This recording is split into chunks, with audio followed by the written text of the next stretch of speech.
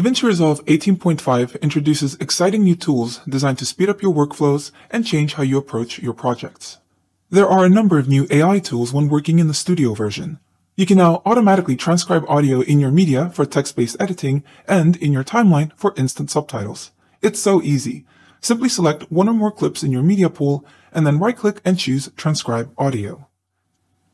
The resulting dialog window will allow you to search for specific terms, or jump to the section of the clip where a word appears.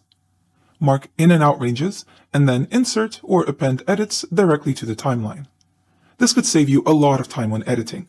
Instead of listening to entire scenes or interviews, you can use the transcribe feature to quickly locate the topic you want the edit to focus on.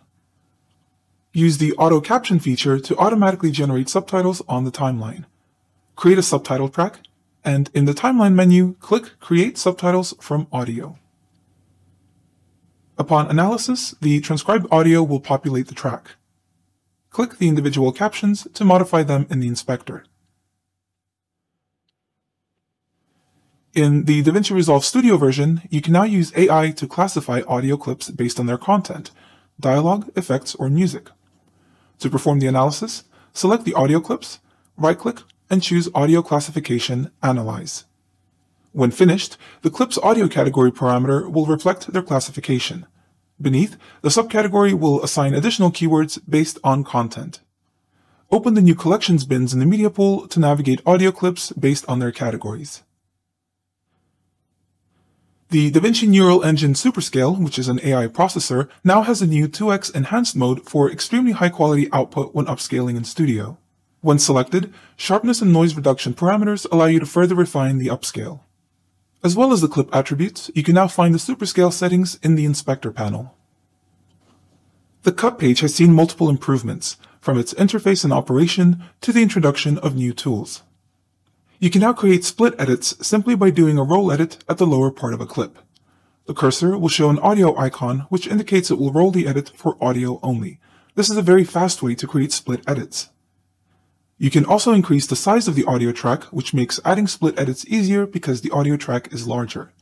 When the audio track is enlarged, the audio is displayed unrectified. The biggest changes are the addition of new menus to the left of the timeline. These are called Timeline Options, Timeline Actions, and Edit Actions. A lot of new features have been added into these menus. Plus, the video only and audio only controls have now been repositioned to the lower left of the media pool to free up space, while the most important timeline features are now positioned to the left of the timeline. One of these features is a new ripple button that enables and disables rippled edits. In the past, the cut page always rippled edits, which means timeline clips would move with an edit point when a clip was trimmed. Now, with the ripple button disabled, when you trim a clip, the duration of the edit will be preserved, and you can introduce gaps in the timeline. By default, Ripple is enabled. However, a great shortcut is to hold the Option or Alt key when doing an edit to disable rippling for that edit only. The Timeline Options menu is where you change settings that affect the view of the timeline. A good example is the ability to display clip names and status on the clips for quick reference. The Timeline Options menu is also the new location for timeline settings such as snapping, trim to audio, fixed playhead, and boring detector. This ensures that the main user interface has more space for controls that are used more often when editing. The Timeline Actions menu is for performing functions on the timeline, such as adding video, audio, and subtitle tracks. This menu also lets you automatically generate subtitles without leaving the cut page. Simply click Create Subtitles from Audio. Plus, in DaVinci Resolve Studio, you can now perform DaVinci Neural Engine scene cut detection directly on the timeline. Other features in the Timeline Actions menu are options for adding markers to the timeline and to set the default marker color. The new Edit Action menu has a new feature to trim the start or end of a clip to the current position of the playhead. When combined with the ripple toggle, you can perform this action over media or a gap in the timeline. Another action allows you to quickly resync timeline video and audio clips. The Smooth Cut button in the Transition buttons has now been changed to a menu, so you can select other transition types. That means that you can right-click the menu to see your favorites. Once selected, the button will now change to that transition type, and you can use it again just by clicking the button. The Quick Export window now includes updates for uploading vertical aspect ratio edits directly to TikTok. This makes it possible to post cinematic quality color graded videos quickly. When editing with a keyboard, sometimes the smart indicator above the timeline was hard to see. Now, the automatic edit point has improved highlighting so it's easier to see which edit point will be affected when you trim or insert clips. In the edit page, when flattening a multicam clip, all color grades and effects will now be transferred to the underlying camera angles, preserving all the changes made to the clips in the color page. You can now use keyboard shortcuts to add and delete keyframes to video and audio parameters. Additionally, you can now modify keyframes during playback for even faster review. The Fusion page now supports universal scene descriptor files. The USD framework is a set of open 3D scene standards that encourages collaboration between artists, animators, and compositors. Fusion now supports importing USD data including geometry, lighting, cameras, materials, and animation. A new collection of USD tools has been added to allow users to manipulate, relight, and render these USD files with the help of Hydra-based renderers such as Storm. Use the Multi-Merge node to composite and manage multiple foreground layers. In the inspector, you can customize the layering and toggle visibility. Each layer has its own controls, so you can still change individual properties like position, size, and apply modes. In the color management project settings, you can now choose whether to enable or disable tone mapping for Fusion conversions. This can help solve unexpected tonal shifts that can occur between Fusion and the other Resolve pages in wider gamut projects. In Studio, the native AI-based depth map tool is now supported in Fusion. Resolve color management can now be configured on a timeline level. Use the timeline settings panel to set a timeline's independent color properties for projects with mixed media. Corrector nodes in the color page node editor now feature composite modes. These will allow you to affect how node values blend into the pipeline without the need of a layer mixer. When working with color space transform nodes, you can now quickly swap the input and output color space and gamma parameters. The color page viewer now supports marker overlays and annotations for timeline and clip markers. Clips with missing lookup tables will now feature an overlay in the bottom right of the viewer to indicate the name of a missing LUT or state that multiple LUTs are missing. In addition to this, the LUT gallery will display a Missing LUTs tab, which allows you to see and manage missing LUTs. The new DaVinci Neural Engine powered relight effect allows you to introduce virtual light sources into a scene with realistic surface highlights and falloff. First, drag the relight effect onto a corrector node to generate a surface map. Add another instance of the relight node to light the scene based on this map.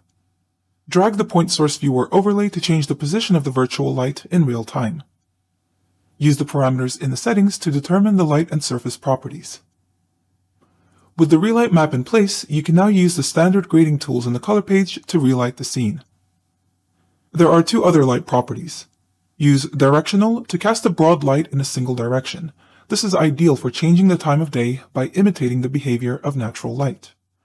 You can also use the spotlight to cast a light onto a location, complete with cone and drop-off controls. The relight effect is further optimized when used together with other secondary grading tools. Use windows to limit the area that the artificial light affects. Or magic masks to focus the light on a single person or object. In the Fairlight page, you can now create, edit, and mix groups to combine related audio tracks. To create a group, open the index panel and click the new group icon. Select the attributes you'd like the tracks to share and assign group members. Enable the group in the panel and start making changes to affect all the assigned tracks.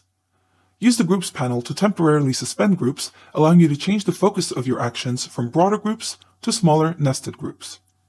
Activate all groups at the top or deactivate to focus on individual tracks. In the Edit timeline, you can draw or edit automation across multiple group tracks at once.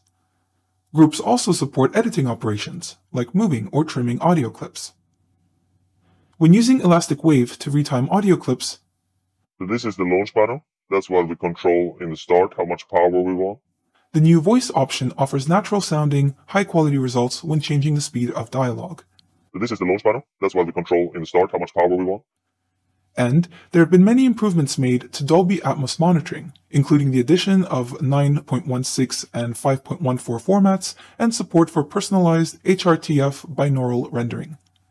Other additions include Atmos re-render capabilities, 5.1 based real-time loudness metering, and 96 kHz master file support. In the Deliver page, TikTok has now been added as a render preset. To automatically upload videos upon render, first go to Preferences to sign into your TikTok account, and in the Render Settings panel, click Upload directly to TikTok. You can also export to TikTok using the Quick Export dialog. When using Dropbox Replay, you can now upload new versions of a timeline and link them to an existing video upload. It is now possible to render GIF, JPEG, and PNG image sequences. On top of that, you may also render out animated GIF clips. It is now also possible to import and export timelines using the OpenTimeline IO format. And you can now more quickly back up your work by enabling timeline backups in the user preferences. Modified timelines will automatically be backed up locally for both collaborative and non-collaborative projects on local, network, and cloud project libraries. DaVinci Resolve 18.5 features a number of remote monitoring improvements. You can now initiate remote monitoring connections using just a Blackmagic ID and a session code. This means clients will no longer be dealing with IP addresses and port forwarding. And in Studio, you'll be able to stream to multiple clients simultaneously, who will be able to view your output using the native video players on their computer displays. You can even remotely monitor on an iPad or iPhone. With DaVinci Resolve 18.5, you can also export your timeline to presentations. Simply select File, Quick Export, then Presentations, and log into Blackmagic Cloud to export your video. With presentations, multiple people can review your timeline, make comments, and even share a live chat with others who are reviewing too. This was an overview of just some of the many new features in DaVinci Resolve 18.5. Thank you for watching.